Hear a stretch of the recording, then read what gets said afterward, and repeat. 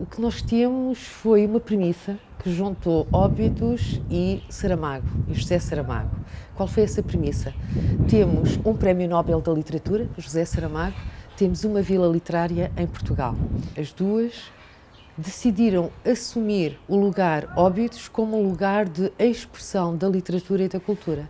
Portanto, juntando uh, aquilo que é a missão, aquilo que são os princípios, os fundamentos da Fundação Saramago, com aquilo que é a missão da Cidade Criativa da Literatura e aquela que é a sua estratégia, criaram então um espaço que vai abrir no dia 23, Dia Mundial do Livro, simbolicamente, uh, para dar uma maior visibilidade, uh, para ser também um espaço, um laboratório de criação para ser também uma mostra do que uh, culturalmente e literariamente se faz em Portugal, numa primeira fase, e no mundo. É muito mais do que uma casa que tem apenas o nome José Saramago. É uma parceria efetiva entre a Fundação e Óbidos Vila Literária.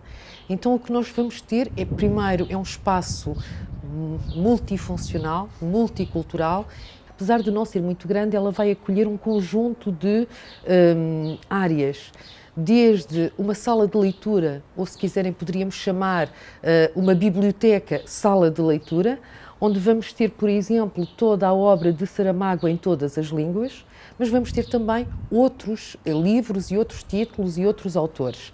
Vai ter um auditório, uh, vai ter uma galeria, vai ter a casa a Cidade Criativa da Literatura, instalada ali com a sua sede, vai ter exposições, vai ter lançamento de livros, vai ter conversas, vai ter filmes, vai ter espetáculos.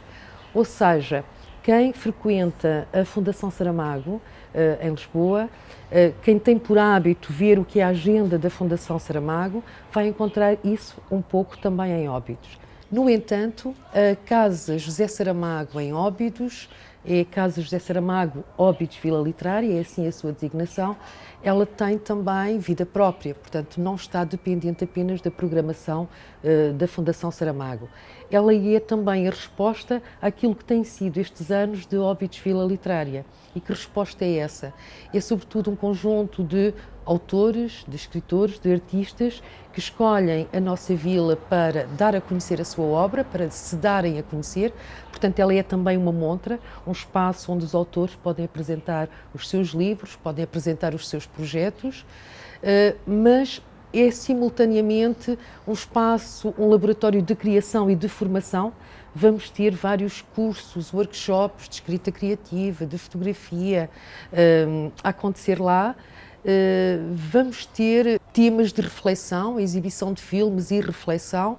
Portanto, vai ser aquilo que nós achamos que nos estava a faltar neste momento, que era um espaço que pudesse ser uh, a personificação do que é Óbidos Vila Literária. Eu acho que podíamos pensar que a Casa José Saramago em Óbidos é isso mesmo, é a corporização daquilo que era apenas uma ideia.